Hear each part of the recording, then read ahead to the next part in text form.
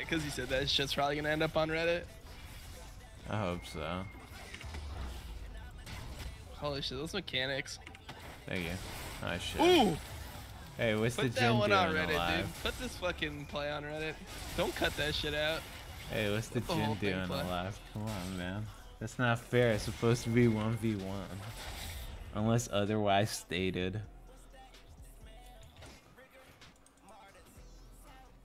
Dude, I love Flex, yeah.